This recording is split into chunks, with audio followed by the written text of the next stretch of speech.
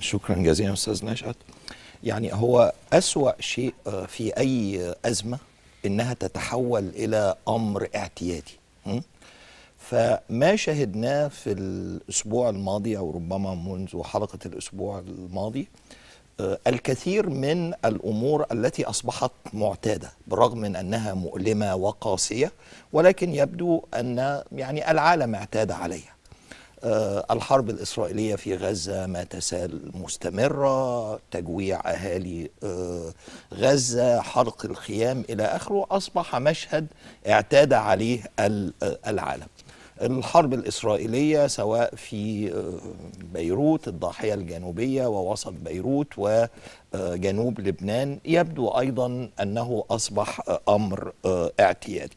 في المقابل صواريخ آه، حزب الله ما تزال مستمرة آه، ما زال هناك مقاومة أيضا من آه، حركة حماس وما زال هناك استمرار بأنه تهديد إسرائيلي برد أو بضربة على على إيران. كل دي يعني أحداث ممكن أن تدخل في نطاق الاعتياد.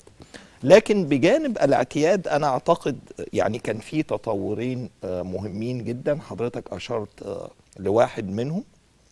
التطور الأول هو إنه الولايات المتحدة قررت إرسال آه، منظومة دفاع صاروخي متطورة لإسرائيل لمواجهة الصواريخ الباليستية بالفعل. الإيرانية. والشيء المهم إنه هيبقى في قوات أمريكية على الأرض تدير هذه المنظومة? ده تطور جديد في جديد المعركة. طبعا لأن دايما الأمريكان بيقولوا مش عايزين بيسموها. boots on the ground وجنود موجودين ماشي طيارات ماشي صواريخ ماشي نقدم مساعدة لكن هيبقى في جنود أمريكيين على الأرض بيديروا هذه المنظومه وبالتالي لو هذه المنظومة تعرضت لأي هجوم سيقتل فيها أو يصاب فيها أمريكيين. فده شكل من أشكال يعني التورط الأمريكي في المنطقة ويعني ممكن أن يكون أحد أسباب المزيد من آه، التصعيد. فده الحقيقة التطور. كان مصاحب ليه تصريحات يعني أو آه، أخبار كده أنه آه، إسرائيل وعدت الإدارة الأمريكية بأنه لو في رد على إيران لن يشمل المنشآت النفطية أو المنشآت ال- آه، النووية أنا تصوري إن ده وارد ولكن ده ممكن يكون في حالة ضربة إسرائيلية آه، أولى? قد تستهدف يعني قواعد عسكرية مصانع صواريخ آه، إلى آخره. لكن هذا لا يعني انه إيران لن ترد.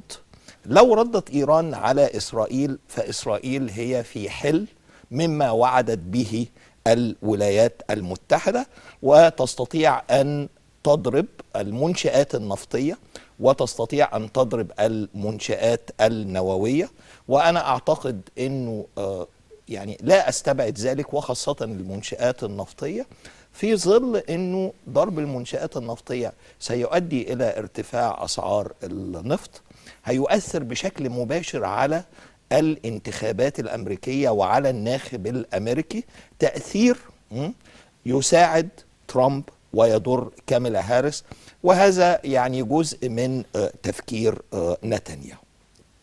فإذا في مجموعة من الأحداث آه، بتشهدها المنطقة بعض التطورات.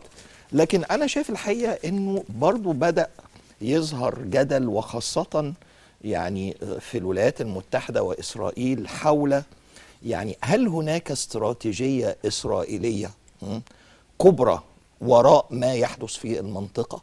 طبعا الإجابة التقليدية اللي كتير منا يعني بيقولها لأ إسرائيل ما فيش استراتيجية كبرى ما فيش تفكير في اليوم الثالث نتنياهو بيهرب من هذه المسألة هدفه الانتقام هدفه استعادة الردع هدفه الاستمرار في الحكم لأسباب شخصية وانتهازية. ده يعني الأمر المعتاد اللي بنقوله. لكن الحقيقة يعني الأول مرة بدأت أقرأ تحليلات بتقول لأ يا جماعة ده في استراتيجية كبرى واستراتيجية ناجحة. م? وماشية على خطوات م? بدأت بحماس ثم آه، حزب الله. وأذرع إيران الأخرى في المنطقة وستنتهي بالمواجهة مع إيران. إيران والهدف منها هي تفكيك المنظومة الحالية اللي موجودة في الشرق الأوسط وعمل ترتيبات إقليمية. جديدة, جديدة. وإنه إسرائيل نجحت في خلال العام الماضي في كل المراحل? آه، وما زال هناك المرحلة المتعلقة بإيران وأن هذه فرصة استراتيجية وهدف لن تفوته إسرائيل.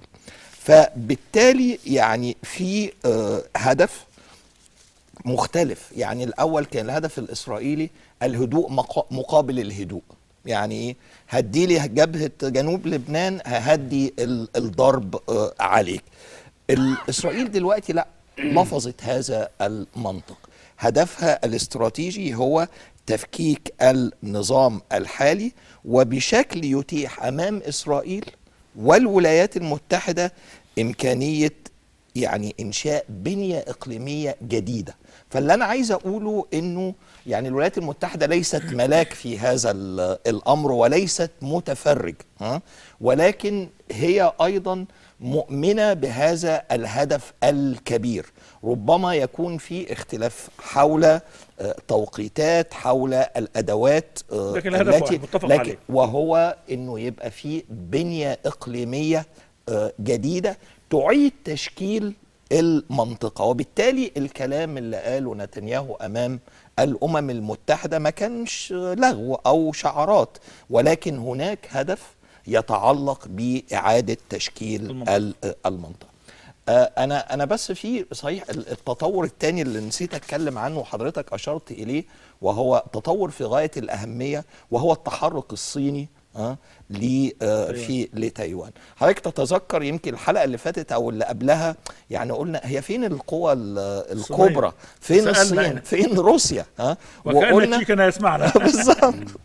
وإزاي يعني لو في قوة كبرى هي بتنتهز الفرصة. صحيح. فتنتهز فرصة تحرك الأساطيل الأمريكية من آسيا تجاه الشرق الأوسط وإن بقى في فراغ بتتحرك في هذا الفراغ فيبدو يعني إن في يعني حد استمع لهذه النصيحة أو ففعلا ال- الصين تحركت نتيجة لهذه الفرصة المتاحة وده الفرصة.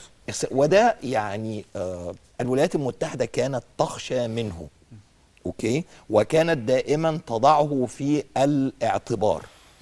تحقق بالفعل وأنا أعتقد ده يعني هيؤثر على تحرك الولايات المتحدة في المنطقة في المستقبل. آه، نعود مرة أخرى لفكرة إن في استراتيجية كبرى بيتم آه، يعني تنفيذها. على الأرض. فده آه، يعني وأن الولايات المتحدة جزء من هذا التفكير بشكل ما أو أن هذه الاستراتيجية الجديدة ستخدم آه، المصالح الأمريكية في ال- آه، المنطقة والانتخابات الأمريكية بالتأكيد مؤثر م? ولكن هي قيد محدود وقيد آه، مؤقت بمعنى يعني إحنا كنا قلنا قبل كده إنه من ست أسابيع إن الست الأسابيع قبل 5 نوفمبر هتبقى يعني آه، صعبة صحيح. على المنطقة وتحقق ذلك آه، أمامنا ثلاثة أسابيع لكن ال- الجديد هو إن إحنا كمان آه، لازم نضيف عليهم اللي هم السبع أسابيع بعد آه، 5 نوفمبر اللي هو من 5 نوفمبر حتى 20 يناير. آه، 20 يناير زي ما حضرتك ذكرت لحظة دخول رئيس آه، أمريكي جديد لل آه،. للبيت الأبيض هيبقى في فرق بالتأكيد يعني لو آه، آه، آه، يعني الفترة دي حتى 20 ستفعل فيها إسرائيل ما ما تشاء دون مراجعة. دون مراجعة. والفترة أكتر اللي هي آه، آه، من 5 نوفمبر يعني لو آه، فاز ترامب فبايدن هيبقى ما يسمى بالبطة العرجاء. لا يستطيع أن يفعل أي شيء. ودي الفترة اللي ممكن بقى إسرائيل تمهد الساحة. للترتيبات. لعورة الفارس. آه بالظبط التر... اللي يجي بقى يعني ترامب يلا نقعد بقى ونتفق على الترتيبات الأرض آه، مه- ممهدة. اللي عايز أقوله إحنا داخلين الحقيقة يعني على مرحلة تحولات كبرى آه، في المنطقة. مرحلة في غاية ال- الخطورة. مرحلة طبعا تتطلب منا يعني التفكير والتدبير وإعادة الهيكلة وأمور آه، كثيرة. وتتطلب أيضا التنسيق مع القوى الكبرى في المنطقة. تمام. وإذا تحدثت عن قوى إقليمية كبرى قوى عربية كبرى فليس هناك غير مصر والمملكة العربية السعودية أنا دايما بشبه مصر والسعودية بفرنسا وألمانيا في الاتحاد الأوروبي م? منظومة الاتحاد الأوروبي لا تقودها دولة واحدة ها؟ ولكن تقودها آه، يعني هاتان الدولتان لما تبص عليهم فرنسا مختلفة عن عن ألمانيا ومختلفة في مكونات ال- ال- القوة مختلفة في أشياء آه، كثيرة ولكن هذا يثري? منظومة العمل الأوروبي وبالتالي اللقاء الذي تم هذا الأسبوع بين آه، الرئيس عبد الفتاح السيسي وولي العهد محمد بن آه، سلمان. أنا أرى أن جانب منه يتعلق طبعا بالاستثمارات والتعاون الاقتصادي ولكن جانب مهم منه أعتقد يتعلق بهذه التطورات الضخمة والترتيبات المتعلقة بالمنطقة. دكتور جمال الترتيبات اللي بيتكلم